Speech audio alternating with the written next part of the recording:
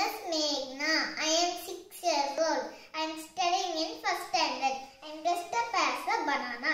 Bananas are grown all over the world. Bananas are grown in bunches. Banana is yellow in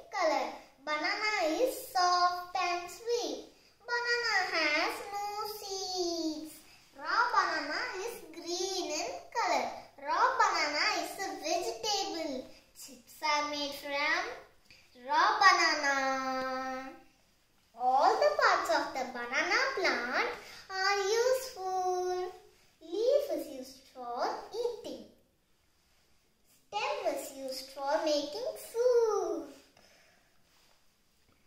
Banana flour is used for making vadas.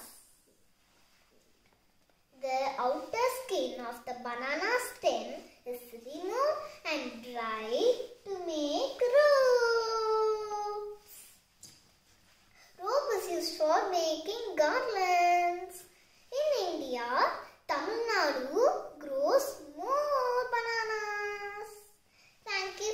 watching my video. Happy Children's Day!